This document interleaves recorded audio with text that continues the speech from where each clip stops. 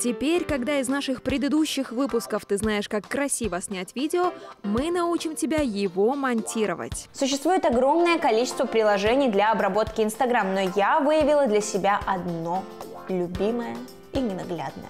InShot. Итак, например, нам нужно сделать бэкстейдж ролик о том, как мы посетили салон красоты.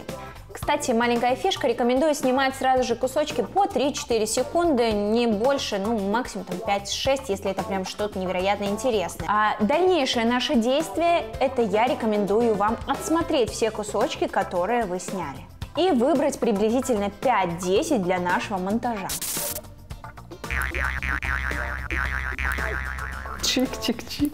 Заходим в иншот и выбираем те 5-10 кусочков, которые мы отобрали. Уже примерно на глаз по а, картинкам, которые мы видим на смартфоне, а мы можем определить примерно, как их можно смиксовать. Первое, с чего я начинаю, это с выбора размера. Заходим в размер. И здесь есть э, различные предложенные размеры. Например, если это Stories, то это будет вертикальное видео. Если же это YouTube, TikTok, там Instagram, еще какой-то э, формат, здесь они, кстати, все предложены, то мы выбираем именно под ту социальную сеть или под ту задачу, которая нам необходима. В данном случае нам интересен формат Instagram. Мы выбираем один из форматов и дальше подгоняем нашу картинку под размером. А, это мы делаем в, во вкладке Zoom. Увеличиваем увеличиваем до того размера, который нам необходим, чтобы не было полей. Но в целом мы можем оставить и с полями, если это по какой-то нашей задумке украсит наше видео. При этом важно обратить внимание на те две галочки, которые слева в нашем меню. А, мы их нажимаем, и здесь а, есть такая вкладка «Применить ко всему». Жмем ее. И таким образом эта функция применяется на все те маленькие ролики, которые мы добавили а, в наше общее видео. Если мы понимаем, что есть моменты, которые нам очень хочется оставить, но они явно затягивают весь процесс видео, то их можно ускорить. Мы берем, выбираем нужный нам кусочек и находим вкладочку «Скорость». Здесь есть такая панелька, где мы двигаем, увеличиваем или уменьшаем скорость а, нашего видео. Чтобы видео смотрелось более динамично, мы также ускоряем еще некоторые куски. Некоторые моменты, например, для девочек полет волос или какой-то красивый жест, очень было бы красиво наоборот замедлить. Поэтому мы находим вкладочку «Скорость», и курсор двигаем в обратную сторону. В целом на этом этапе можно уже добавлять музыку.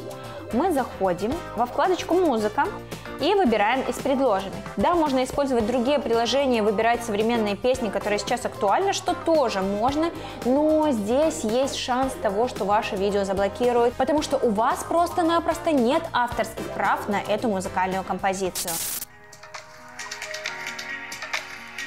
Отлично! Отличный вариант с первого раза, в принципе, мы выбрали. Нажимаем облачко, она скачивается в наш, не знаю куда, Пока можно потанцевать, пока она скачивается. Нажимаем «Пользование». Маленький лайфхак. Смотрите, чтобы кадры вашего видео, то есть перебивки, которые вы отсняли, эти кусочки, они а, менялись именно на какую-нибудь сильную долю в музыкальной композиции. И если, например, сильная доля наступила, а кадр не сменился, то мы сейчас будем потихонечку обрезать наше видео. И мой вам э, маленький совет, лучше меньше, чем больше. После того, как мы определили скорость каждого кусочка, а наложили его грамотно на музыку, у нас уже есть полноценное видео с музыкой. Здесь можно дальше добавить фильтр.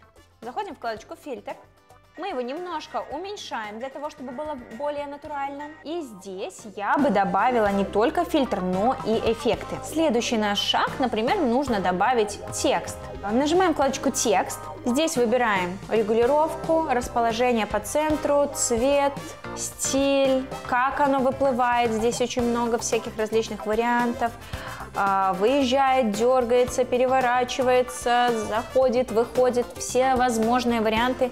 И выбираем, на какой стадии э, видео нам нужно его опубликовать. Наше видео готово.